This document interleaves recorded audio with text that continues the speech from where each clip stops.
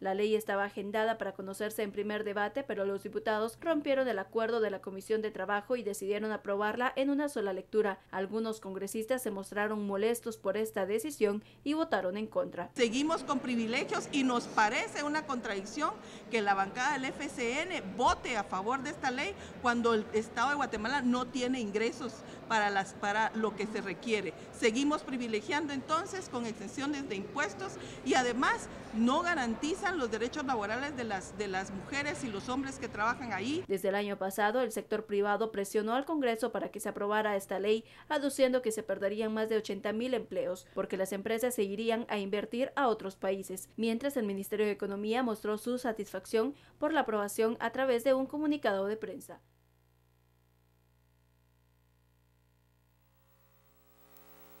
Esta misma sesión parlamentaria, los legisladores aprobaron en tercer debate las reformas a la ley electoral y de partidos políticos. Sin embargo, aún hay algunos artículos que generan más discusiones porque aún no hay consensos en temas como, por ejemplo, la paridad dentro del Congreso o el financiamiento de los partidos políticos.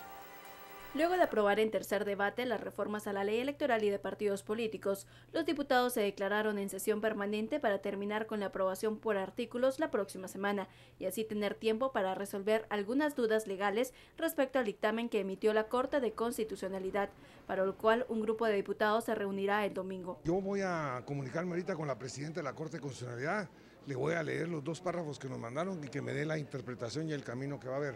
Durante el fin de semana se va a trabajar en, eh, todavía tengo que convocar, se va a hacer una mesa técnica de unos 8 o 10 diputados para empezar a ver los detalles de los arreglos que se tengan que hacer y la actualización con respecto al dictamen que dio la Corte. O sea, estamos, vamos a estar preparados para el día martes con las enmiendas, con todo listo. Organizaciones sociales que han acompañado el proceso de las reformas electorales solicitaron a los diputados aprobar las reformas ya avaladas por la Corte de Constitucionalidad. Entre los artículos que generarán más discusión porque aún no hay consenso se encuentran el que se refiere a la paridad dentro del Congreso, así como el financiamiento a los partidos políticos, entre otros.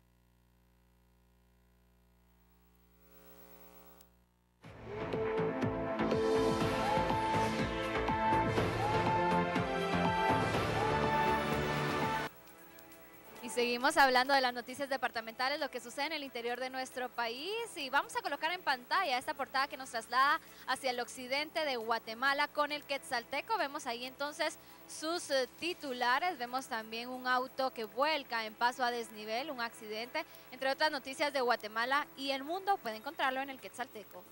Hablando de noticias departamentales, en numerosas pérdidas de vidas humanas, así como materiales, se han suscitado en el ya peligroso kilómetro 178 de la ruta interamericana, conocido como Cuatro Caminos en Totonicapán, por lo que las autoridades municipales y otros sectores buscan realizar proyectos de inversión que logre evitar más incidentes sea por imprudencia, negligencia o impericia, se han provocado numerosos accidentes en esta ruta, por lo que se buscan soluciones inmediatas. El ordenar el uso de los pasos seguros para las personas que transitan a pie por esos lugares y los vendedores y que también eh, los conductores de vehículos pequeños pues también respeten verdad esta eh, semaforización y esta señalización que se va a realizar acá en Cuatro Caminos.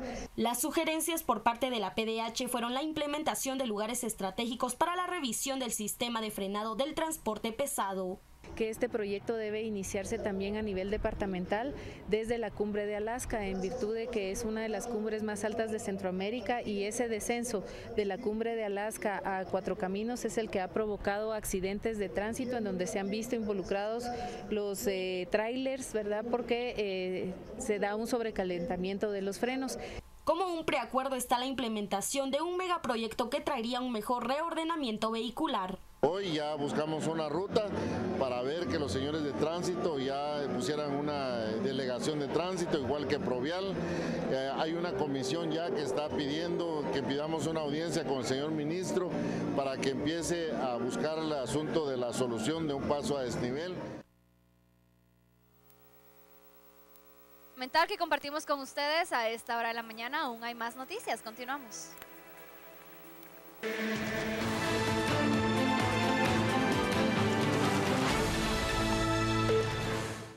Vamos a seguir con noticias internacionales. Para eso vamos con Alejandro, nos lleva a recorrer el mundo. Vamos, Ale.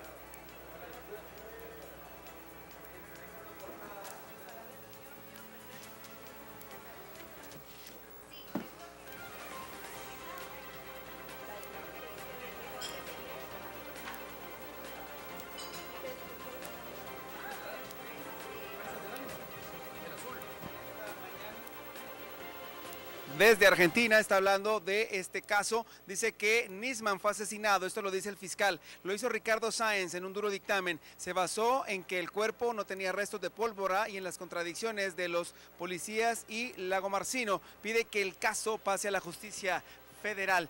Foto central, homenaje frente al Parque de la Memoria, Flores al Río por los desaparecidos. Fueron víctimas de la opresión y la barbarie, dijo el presidente François Hollande. Al recordar a los muertos de la dictadura, entrega a las monjas francesas Alice Domon y León Duque. Esto lo titula, entre otros temas, esta mañana el Clarín desde Argentina.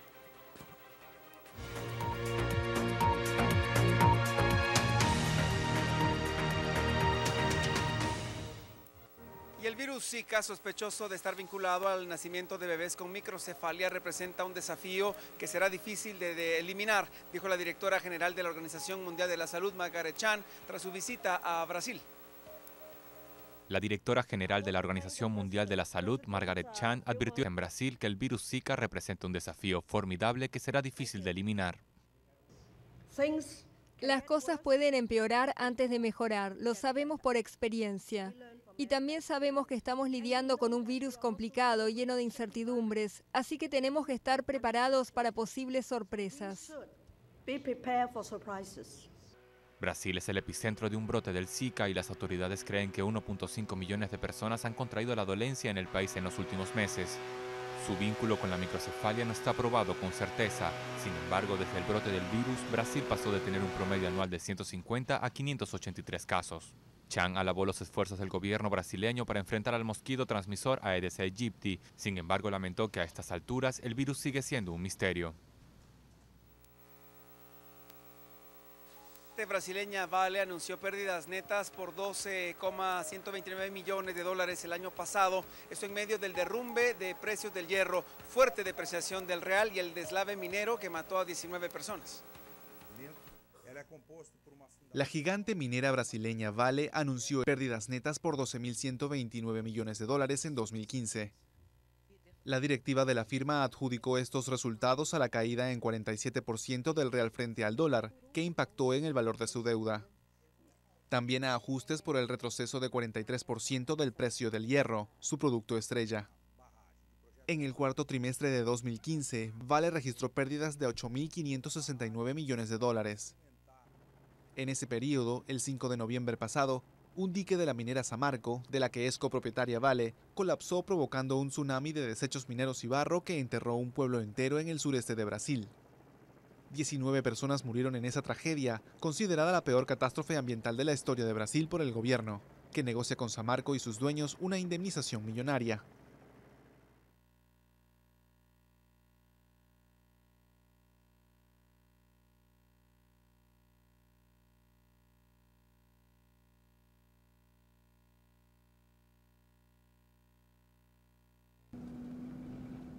Las fuerzas kurdas anunciaron que respetarán el acuerdo de alto el fuego previsto para entrar en vigor este fin de semana.